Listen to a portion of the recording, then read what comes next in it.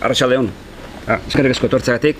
Bueno, nik eh, azaldu behar dudana, pixka bat desberdina da, zenik ez dut egingo Josuk eta Aitorrek egin duten bezala, horako bilakara kronologiko bat, eh, ni saiatuko nahi zena da egiten hausnarketa bat mm, porrotaren inguruan, ezta? Eta horrek behar bada, eh, merezi du eh, aurretik hausnarketa laurru bat egitea, eh, zer den gerra eta zer den porrota.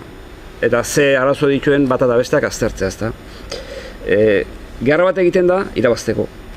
E, gerraren helburua da, etxaiari, zeure borondatea, zeure helburuak e, lortzea, ezta? Eta gerraren historia egiteko orduan, ba, nik uste ezinbestean, ezin dugula e, konturia bat. Horre baditu bere, e, bere arazoak, eta bere zeharkako kalteak, ez da, gerra batan orai erailtzen den hitza e, maiz e, baztertzeko bestelako e, kontu batzuk, ezta? Gure kasuan, gaur hemen gaude, eta horrek nahi du neurri batean, mila behatzen dut masaian, errepublikaren alde edo autonomiaren alde altxatu zerenek, irabazi duzutela. Ze bezala ezinak hemen egongo, ezta? Baina, ez dagona zahantzarik da, mila behatzen dut mazazpian, garra galdu egin zutela. Eta mm, zerretik galdu zuten mm, azertu beharko kontu bada horre dauzka hainbat problema, ezta? Problema bada e, porrota erabiltzen baldin baduzu e, ge, gertaira historikoa da aztertzeko norbait amaieratik hasten zarela.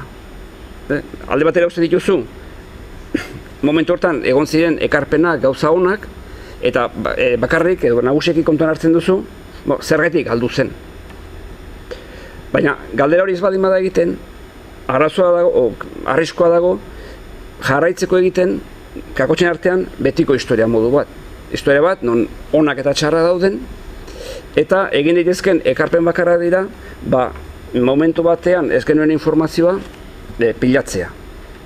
Eta nik uste dut, porrota aztertzen baldin badugu, porrotoren azterketak lagundu dezakeela, historiak aurrera egiten, eta ba, historialariok oso eskorrak gara, edo eseptikoak, baina behar bada urrengo batean, ba, orako porretik e, berriro ezkertatzen, ezta? Eta hizu zen, nik orain segidan egin behar da, ba, bueno, porrotoren atzean dauden hainbat faktore azaldu. E, batzuk, aipatu dituzte dagoeneko Josu eta Aitorrek, da nik aipatu hain ez egingo, bestatutzen, ba, luzatu gabe, pixka bat e, gehiago e, itzen dut, ezta? Eta, Josik izan dugu ipotzen nahi zela, erreal zalea, eta atzo batzuk konturatu zineten ez, etxaiak ere jokatzen du. Eta orduan, porrota aztertzeko orduan, badago, eta Aitorrek oso ondo azaldu du, ezta? E, e, baztertu izin den elementu bat, eta da, bueno, frankistek ere bazizutela, e, kakosen artean militarki hobea zirelako. E, gerra bat, arazo, tekniko, arazo politiko bada, eta arazo tekniko bada.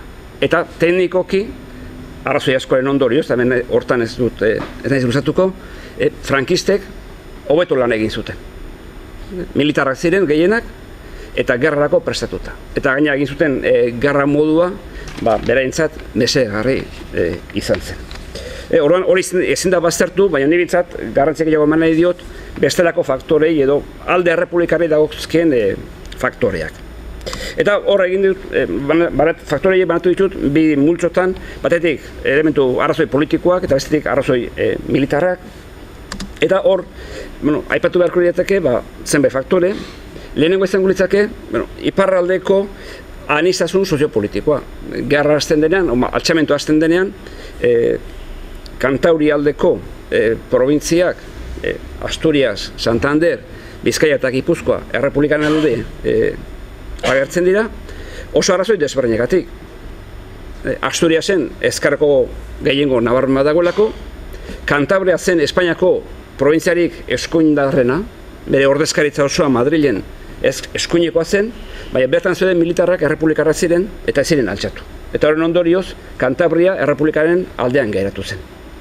Eta Bizkaian militarak ere ziren altxatu eta bertan ba, abertzale eta bereziki ezkertearen ba, pixuak lagundu zuen Bizkaia ere errepublikaren alden e, azaltzea.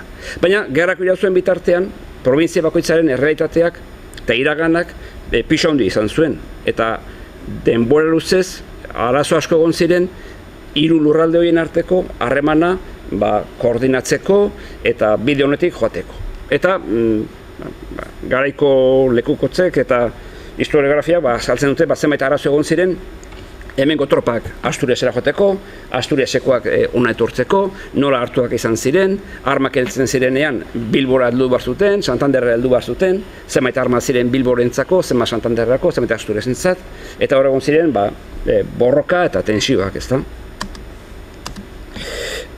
Anistazun hori ematen zen baita ere e, eskaderen kasuan. E, jaurlaritza, koalizio gobernu bat zen, hor zeuden e, abertzaleen bi alderdiak, sozialistak, komunistak, an, anarkistak zeuden gobernuan, baina bai e, gerran, eta errepublikarrak, eta beraien arteko harremanak, ba ez ziren beti onak izan. Ez ziren onak izan gerra horretik, eta ez ziren onak izan ez gerran, eta ez gerra ostean. Eta hor, e, zenbait momentutan ba, sortu ziren tensio horiek ere ez zuten lagundu ba, garra alegin horretan ba, batera aritzen, ezta?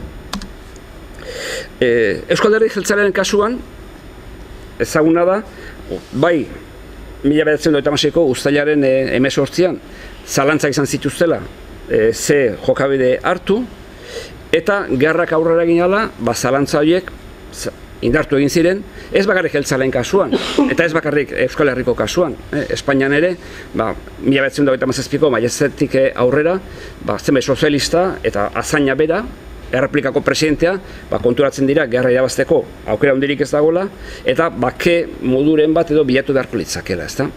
Orduan, ba, jeltzalen kasuan, badago nolaiteko lehiatasun geografiko bat. Errepublikaren alde daude, autonomia ekartzen duen neurrian, eta borroka Euskal Herrian ematen den neurrian. Eh? Bilbo erori ondoren, Eus, Eusko Jaurlaritza eta tropak eta ertarrak Santanderra joaten direnean, ba, borrokatzeko grein hori ahuldu egin zen, eta horren leku kotza da, ba, Santander erori aurretik, egun lehenago, Eusko Gudaresteko e, tropak, beren aldetik, errenditu egin zirela Santoñan, italianokin indako paktua den ondorioz, baina, bueno, hori behar da ezaguna da, baina, adierazgarria da, nolako batasun aula zegoen gara momentuan, ezta?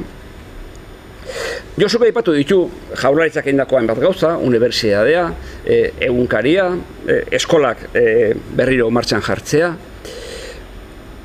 Eta egia da, jaurlaritzak gauza asko egin zituela, baina zenbait e, adituk, bai momentu hartan eta bai gaur egun ere, ba, zalantzan jarri dute e, alegin horren tamaina eta berezeki e, alegin hori nobait, gerra irabaztera zuzentua zegoen edo neurreten politikari lehentasuna eman zitzaion jardura militarraren e, aurretik. Hor, e, Josik aipatu du, e, duela urte pare bat atera nuen liburu bat, el informe Brusilov, e, Brusilov zen e, sobitarrek hemen zuten itzultzeretako bat, Errusiako irautzan parte hartutakoa, e, badakizue Errusian gerra egiteko orduan e, Napoleonen aurka edo Hitlerren aurka e, lur herriaren e, politika eramaten zutela aurrera, alegia atzera egiten zutenean ez zutela ezer zut ikusten eta hauek harritute ikusten zuten sobitarrek hemen ba, jaurlaritzaren e, jarrera ba, e, lantegiak ez direla suntzitu behar, e, errespetatu imar dela etxaia, e, karzelan daudenak e, ez direla e, erio zigorra e, kondenatu behar, e, noiz salatzen zuen e, jaurlaritzakoak pertsona ona zirela, baina gerra batean ezin dela pertsona ona izan. Eta horrek neurri batean e, oztopatu zuela ba, gerra e, irabaztea. Beraz, e, bat, e, elementu politiko mm, ez zindirenak neurtu justu zeintzu diren garrantzitsuenak, baina adierazten dutenak e, errepublikaren aldean zeuden zailtasunak, Frankoren aldean olako zaitasun gutxi egon zen. Bale, oso regimen autoritario zelako eta goitik bera antolatu zelako. Bale, demokraziak baditu bere ondorio txarrak ere, bereziki garra baten e, inguruan. Arrazoi militarren artean, e, batzuk ere e, azaldu dira e, aurretik, e, badago bat politikarekin zer ikusi zuzena duena, eta da, Iparreko Armada Republikarren barruan dauden problemak ba, koordinatzeko eta beraien artean integrazio bat lortzeko. Eta hori ikusten da, zenbait denbora kostatzen den, hiru lurraldeek, ez, hau ez da e, Euskal Herriko kasua edo abertzalen kasua. E, Asturiasen problema bera egon zen eta Kantabrian bera. E, Asturiaseko agintari politikoek ez zuten nahi egotea militar bat agintzen hiru provintzietan, Kantabriakoek ere ez zuten nahi, eta jaurlaritzakoek ez da. Eta denbora luzez, ez zegoen militar bat hiru lurralde horietan kontrol zuzena eta zorrotza zuena. Hori gertatzen hasi zenean, alegia, e, aginte zentral bat sortzen e, hasi zenean, beste arazoa gehitu zitzaion. Da, aginte horietako asko komunistak zirela. Badakizue, alderri komunistak, e, gerra horretik, Espainiako alderri komunista oso alderri txikia zen, eta aldiz gerra zibilian sekulako indarra hartu zuen. Ze, mm, gerra hasiratik planteatu zuen estrategia bat zuzena zena, eta estrategia oso simplea zen, da, aurrena gerra irabazi behar dugu, gero irautza egin izateko. E, Noait, sozialista asko edo anarkistek planteatzen zuten irautza eta gerra batera egin behar ditugula. Eta komunistek ikusten zuten politika hori aurrera eraman ezkero, ez zutela ez gerra irabaziko eta ez zutela irautzarik egingo. Baina komunistek bat zuten arazo bat, Noait, taktika hori egokia e, izan daiteke edo hor zentzuduna ematen du gaur egunetik begiratu da behintzat, baina eraberian komunistek gerra erabili nahi zuten bere eragina zabaltzeko. Eta orduan egiten zituzen ahalegin guztiak bere jendea kolokatzeko e, edo zintokitan. E, aginte postuetan, armadan, politikan eta abar. Eta horrek mesfidantzasko sortzen zuen. Eta ikusten zen, bai, e, politika zuzena daramate, baina bere jendea jartzen dute toki guztietan, erabili nahi dutelako gerra gero irautze egiteko. Eta horre sortu zuen, ba, bai jeltzalen artean, edo sozialisten artean, edo anarkisten artean, ba, mesfiantza. Ojo, komunista hauek jartzen mali madira, azkenean guztiok bazertuko gaituzte. Eta erabiliko gaituzte bere helburuak e, gauzatzeko. Aitoreko zunda, aipatu du, ezta?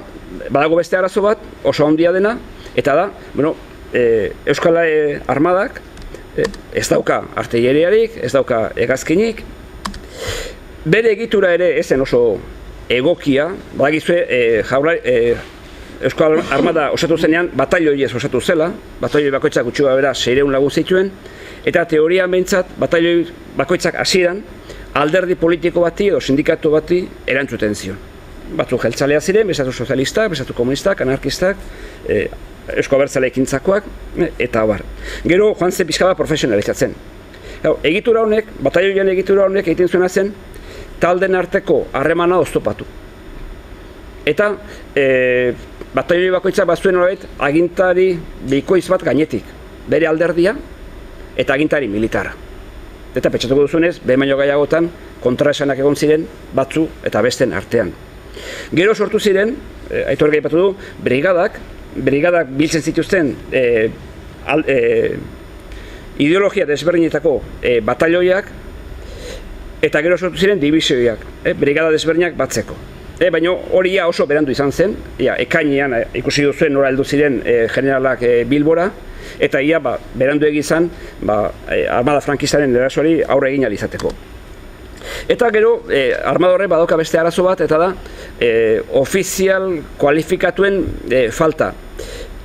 Ez hainbeste goi mailako artean, eta horre ere bai, baina horietako asko dira, e, ba, Bilboko udaltzainen e, burua, e, Bizkaiko minoien e, burua, oporretan hemen dauden e, ofizialak e, ba, asko asko euskaldunak e, hemen sartzen, e, arman sartzen direnak, baina batoioi askotan e, zeintzu dira ofizialak, ba, batzokiko e, lehendakaria, e, UGT-ko e, lantegi bateko burua, esperientzia militar handiko gabeko jendea, eta bere lagunak, bere kuadriakoak behartu behar dituenak e, gerrara eta eriotzera joaten. E, eta hori da e, oso erresa ez da. Aitorek aipatu du baita, e, jaurlaritzak, e, esko jaurlaritzak, erasoaldi bakar bat antolatu zen, erasoldi handi bat, legutianokoa, mila behatzen dagoita amaseiko e, eh, azaroren e, bukaeran, porrotarekin bukatu zena, mila hildako inguru zituen e, eusko, e, euskal armadaren e, soldaduen artean, eta horrek izan zuen ondorio bezala, ba, mm, handik aurrera, e, armadaren politik izan zela itxarotea. No, ez dugu gaitasunik arma falta zaizkigulako, ez dakigulako e, armada mugitzen, e, ba, itxarongo dugu Frankon erasoa eta saiatuko gara ba, ahalik eta ondoen erantzuten. Eta pentsatuz, lehen mundu garan gertatutzen antzeko zerbait gertatuko zela. Alegia, lehen mundu garan e, trintxerak erra bat izan zen, baina ziren konturatu, hogei urte pasatu zirela, eta hogei urte horietan egazkinek sekulako e, aldaketa izan zuten, eta tankek ere bai. Eta trintxerak erra izan bat zuena, ba, posizio garra bat izan zen e, neurri batean, ezta? Horrek ez du esan nahi, e, Euskal Armadak ez zuenik hainbat e, kontraeraso egin, ezta? Eta batzuk, ba, bere momentuan arrakastatxo izan ziren. Ba, sojuben adibidez, e, italianoak berremero heldu zirenean, e, kaminotik joan ziren, e, gia Michelin batekin, e, hori zen beraien mapa, eta orduan zire konturatu, ba, soiu, badagoela mendi bat ondoan, eta mendi hortatik erasutu daitezkela, edo ben bertan, e, lemoa peinan, e, Eskola Armadaren laugarren brigada kontraeraso bat egin zuen eta ba, momentu batez lortu zuen ba, frankistek eh, atzera egitea, ezta?